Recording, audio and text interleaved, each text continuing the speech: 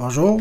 Pour travailler avec EV3 euh, Classroom, il faut probablement mettre à jour votre firmware de votre brique pour voir comment ça fonctionne. Donc, on doit aller à l'adresse qu'on vous a donnée, donc ev3managereducation.lego.com. Vous allez avoir installé un petit logiciel, une petite application sur votre poste de travail pour pouvoir ensuite que ceci apparaisse, donc votre brique connectée en port USB avec le fil USB.